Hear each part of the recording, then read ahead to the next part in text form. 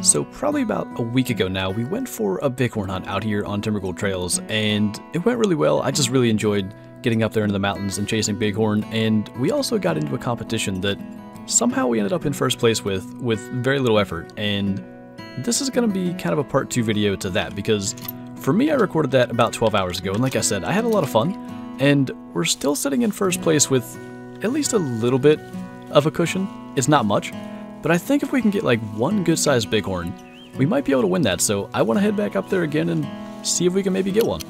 Well, that's interesting. I mean, if he's there, I guess we're just gonna get that? I don't even know what he was stuck on, but that's not a bad elk. He's got a really good frame. If he had better back tines, I'd actually really be wondering how big he was, but he should be kind of like, I was gonna say around 350, so 348 will be good enough for that. And I guess since we're here, we can kind of look at the path I want to take. So I want to just go like all the way up through here, and then we'll sort of do what we started with last time towards the end. We'll kind of like loop around this mountain, and we'll get down into the railroad tracks after that and just kind of see what that does for us. It's kind of amazing. There's areas up here where you can see like all the way out to render distance 300 meters, and the first ram I see is just 80 meters away walking broadside up here, so he's decent weight. He's not going to score high enough to really be that heavy. I talked about it last time. Generally, like, the top scoring ones are also, like, at the top end of the possible weight and kind of vice versa, so I don't see this guy even weighing above 100 kg. I think all three of the ones that we have are over 100, because our average right now is like 101, but they all pretty much weighed right in that 101 area, so we're going to have to get a pretty good one to actually improve our score, but that's kind of the main goal here, is just to try to find like one good one, because I don't really think we're going to improve it much. But if we can get one that weighs like 110, then we'll really lift our score up there. But this guy is actually fairly heavy for his weight, 101.4. I think that's actually what our average is. That's going to bump it up to 102, so that actually helped. I really didn't think at that size he would be even to that, but we'll definitely take that. That might be a kind of decent ram. It's hard to tell from whatever that was, 250 meters, but eh. Probably not even a 140. 90 to 170. He's got decent weight, so we'll give it a shot and see if he maybe increases our score a bit, but I don't think he's even going to be above 100 kg to be honest. But 250 meters. That must have been like just under the heart because it hit him in the shoulder. He really shouldn't run that far, so we'll just kind of mark where he went down over. And hopefully we can just go and find him quickly. Ooh. That might be bigger.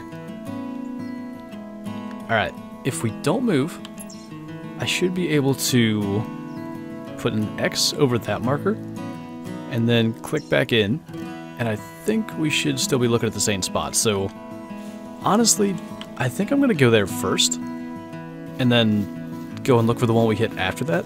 I don't know if that's the one we saw, but that's going to be the one we're going to take a shot at. He's max weight and max score estimate.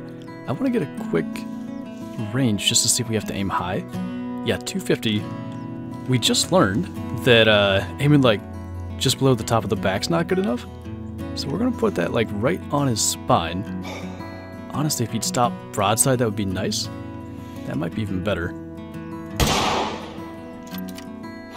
Not bad. So now we gotta move our marker again. Even that, did we see that one? I think we did. But when it's far away, even that looks pretty good. We'll get a quick uh, weight estimate. Yeah, 65 to 90, that's not going to be anything that'll help us, but that guy's definitely not bad. And actually, he stopped pretty much right at 300 broadside, so we might as well try to get him down too. That way we're not tracking him or anything like that later. But I don't know how high to aim necessarily. That actually looks good. So finally, this is the first one. They are just not fun at all to track. Some of this grass is so high, like, you can't even see where the tracks are. But 89 kg, that's not going to help us much in the competition. And then try to get oriented again, that is the big one we dropped. And at the range we shot him at, I really couldn't tell. Honestly, up close I can't even tell, but I'm mainly hoping that weight is going to get our competition score up. He's 102, so it'll get it a little bit. We actually hit him in the spine. And a 167, I think that's the same size as the biggest one we got last time, but that kind of pushed our average up almost to 103. I've always felt like trying to get a good trophy shot of a bighorn in this game is just really difficult, and it doesn't help that the alpine shoes for some reason are just invisible, so I always try to like hide that behind the animal some, and I think for what we have here, this is probably as good as we're gonna get, so at least like up close of the one curl there. I like to get both horns in it, but I couldn't get anything better looking, and I think we're just gonna go with that, especially since he's just a 160 and not a 180, but we actually still have one more to track here, and I'm not looking forward to that from the way the last one went. Actually, that was really easy. He just went in a straight line and only left like five tracks, but I think he was only up to 90 kg or something, so it was never one that was gonna get us anywhere for our competition score, but it's just nice to shoot some like as we're going along and feel like we're actually getting something done that way. But we got another ram right there. I think it's pretty average size again, but quite often when they're running, they slow down, and if he does that again, we might be able to get a shot in there. He must have been working his way like down that hillside the whole time. I'm not sure if we shoot him, if we're going to be able to claim him.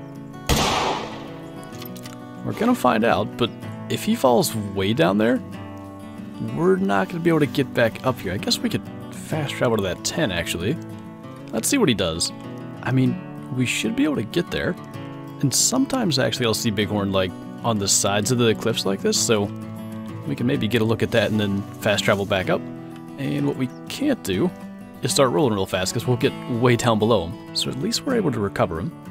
I'm honestly not sure if I even paid attention to the weight estimate, but again, he's well below what we have, so we'll just kind of hop back up here and continue on our path that we have. This ptarmigan's going to fly right past us here. That got super laggy. It's nicer to shoot like up into the air so all the pellets don't hit the ground and have to like render whatever happens that makes it laggy, but kind of just a little bonus bird working towards 100 of them.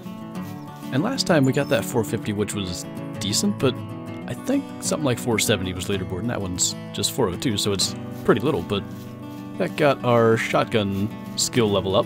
It sounds like we're surrounded by these things. Try to maybe get two if we can. I think it's going to be too far away. There's tracks all over. Anytime I hear them like back behind me, I always wonder if they're going to fly over me and go to where all the other ones are, but this one's not going to be super special either. 448's actually decent. And I can still hear them all, like, ahead of us. They actually, I think, will, like, fly back to here. But because we're kind of going for Bighorn, I don't want to sit here and wait on them. So maybe we'll just take it slow in this area and see if we can catch one on its way back, but I don't want to wait for a bunch of them. It sounds like they should be literally right on top of us. I guess that one actually was. I don't know, like, they got close here, but none of them really ever came here and landed. That one's gonna land down there, but I think we'll just be happy with our one and continue on here, because could get stuck here just waiting on them all day. This one's right here. Another not super special one if it's just 0.4. I can't believe this. If I actually go out and hunt these guys, I can't find them and they never cooperate and anytime that I'm chasing Bighorn lately, they just fly past all the time.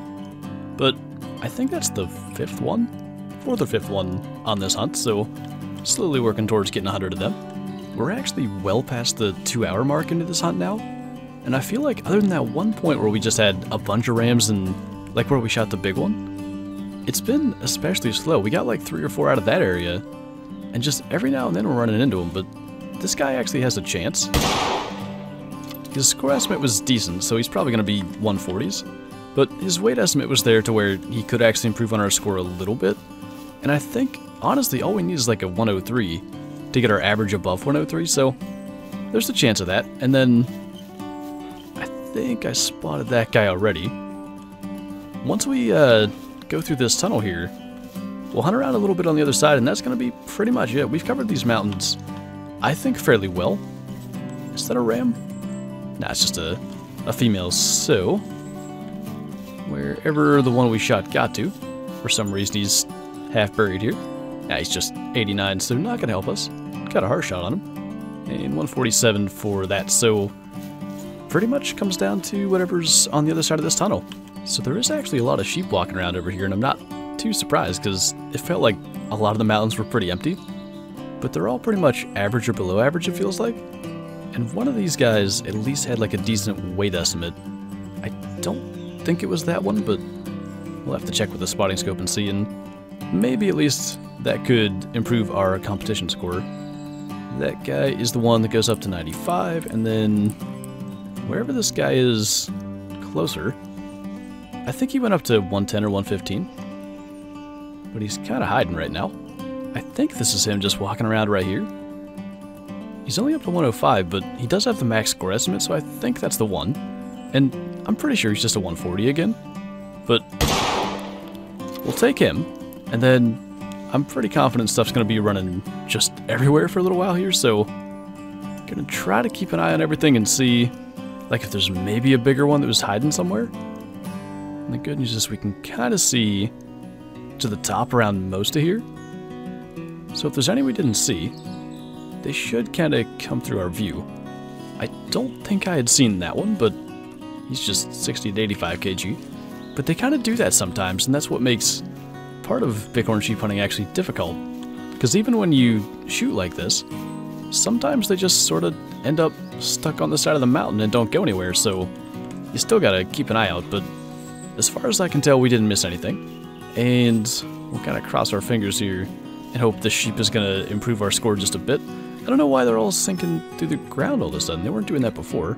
But 96.8 is not going to improve our score. 152 though. I think that's the second biggest one we got during this hunt, but I think unfortunately that is going to wrap this one up. So we did pretty much another two and a half hours about the same as what we did in the previous hunt, and we did improve our score a little bit, so we'll kind of see. See if that score ends up at least getting top three. I think it could. There's maybe 10 hours left in the competition, something like that, so we'll just sort of see maybe how competitive this one gets. But anyway, that is going to do it for this video, so thank you guys for watching, and I'll see you next time.